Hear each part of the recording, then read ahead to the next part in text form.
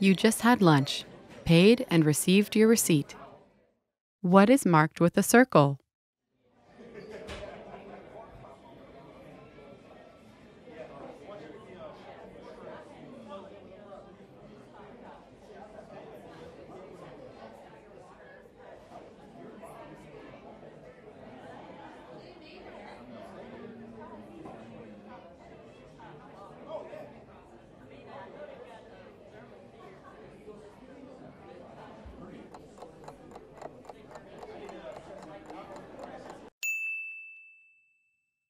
What is marked with a circle?